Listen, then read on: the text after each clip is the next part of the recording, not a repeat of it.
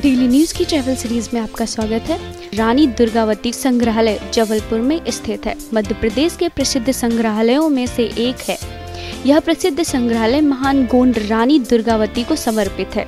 इस संग्रहालय में कई मूर्तियाँ, शिलालेख और ऐतिहासिक तथा सांस्कृतिक महत्व की अन्य कलाकृतियों का एक विशाल संग्रह संरक्षित है।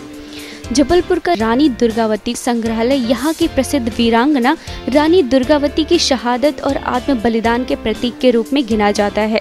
रानी दुर्गावती की स्मृति में यह स्मारक उन्नीस में बनवाया गया था। इस संग्रहालय के अंदर स्त्री शक्ति का प्रतीक मानी जाने वाली देवी दुर्गा की एक बलुआ पत्थर से बनी प्रकृति है, जो रानी दुर्गावती एवं उसके साहसिक कर्मों के प्रदर्शन के साथ उनकी वीरता और गौरव को दर्शाती है। संग्रहालय में राष्ट्रपिता महात्मा गांधी से संबंधित कुछ कलाकृतियाँ और तस्वीरें भी हैं। जबलपुर की रानी दुर्गावती संग्रहालय में प्राचीन संस्कृति, अवशेष, आदिम अभिलेख और सिक्के आदि देखकर हर कोई अचंभित रह जाता है। संग्रहालय में और भी कई अधिक दिलचस्प शिलालेख भी मौजूद हैं। आप जबलपुर ट्रेन, बस और हवाई जहाज़ से आसानी से पहुँच सकते हैं। यह संग्रहालय मुख्य बस स्टैंड से कुछ कदमों की दूरी पर ही भवर ताल उद्यान के पास स्थित है। रेलवे स्टेशन से आसानी से ऑटो, टैक्सी और रिक्शा, सिटी बस आदि मिल जाती है।